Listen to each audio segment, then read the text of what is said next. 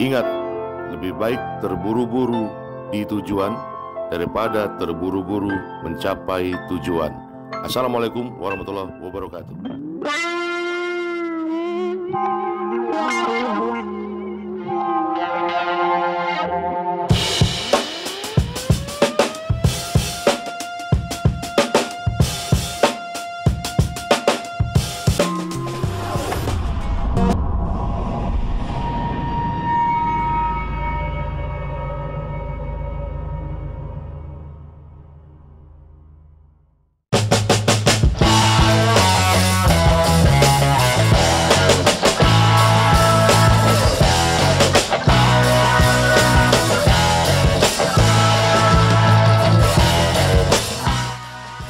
Assalamualaikum warahmatullahi wabarakatuh.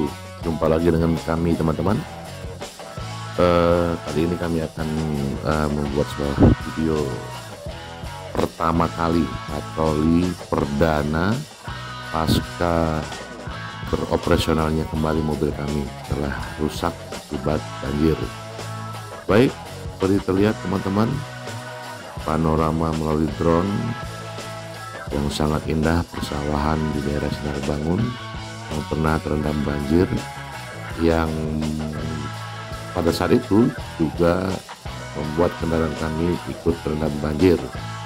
Seperti kita lihat di tengah-tengah sawah yang dikelilingi oleh perbukitan yang sangat indah ini siapa menyangka ketika itu hujan sangat deras sehingga membuat sungai Semata yang berada di sisi persawahan ini meluap hingga menyebabkan banjir bandang yang merendam area persawahan ini teman-teman.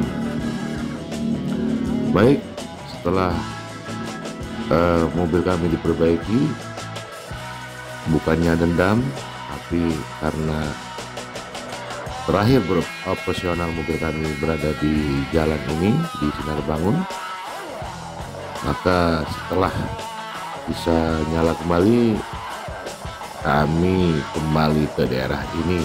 Tetapi tentunya dengan panorama bukan penuh dengan air melainkan penuh dengan keindahan-keindahan yang mempesona. Baik teman-teman saksikan terus eh, pengambilan gambar panorama melalui drone sambil melaksanakan patroli di video ini. Jangan ke mana-mana. Selamat menyaksikan.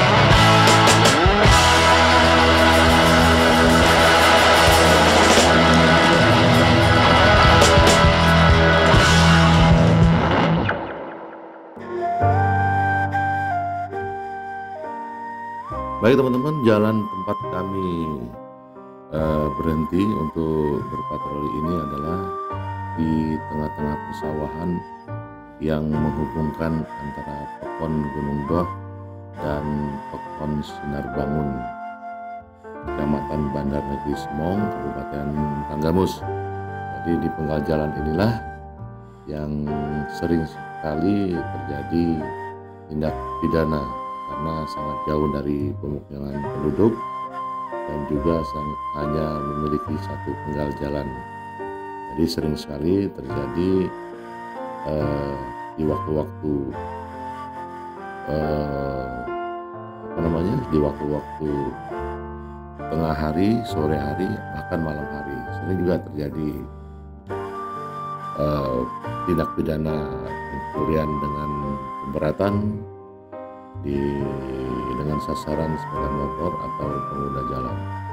Jadi sambil mengisi waktu sore hari, kami beserta rekan-rekan melaksanakan patroli di daerah ini. Baik seperti terlihat, kami dengan kekuatan sekira lima personil untuk kali ini melaksanakan patroli dengan sistem stasioner di penggal jalan penghubung antara Sinar Bangun dan Gunung Doh ataupun sebaliknya Gunung Doh menuju ke Sinar Bangun. Alhamdulillah tidak terjadi tindak pidana ataupun laporan-laporan masyarakat tentang pada saat itu terjadi tindak kekerasan atau kriminalitas.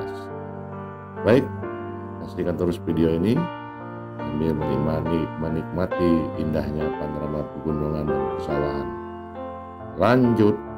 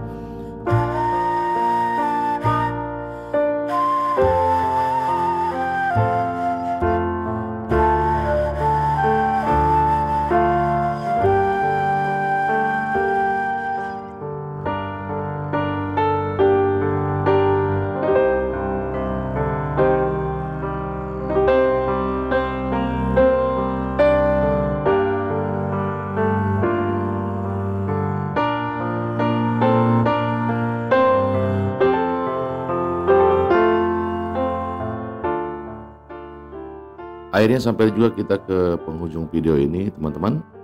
Jadi pesan kami kepada seluruh warga masyarakat di mana saja untuk lebih hati-hati.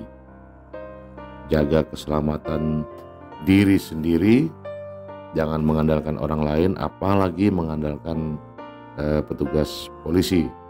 Karena keamanan itu sesungguhnya kita sendiri yang bisa menciptakannya. Dengan cara bagaimana? Dengan cara tidak memberikan kesempatan kepada para pelaku tindak pidana. Jadi janganlah kita bermain handphone sambil berkendara sepeda motor atau berdiri di tempat-tempat sepi atau keluar rumah di jam-jam rawan. Nah, itu contoh-contoh yang memberikan kesempatan kepada para pelaku. Tidak adanya atau tidak bertemunya antara niat dan kesempatan, maka menjadi kejahatan itu tidak akan terjadi. Namun sebaliknya, jika bertemu antara niat dan kesempatan, maka akan terjadi suatu kriminalitas. Baik, kami cukupkan sampai di sini saja dulu. Wabillahi topik walidaya. Wassalamualaikum warahmatullahi wabarakatuh.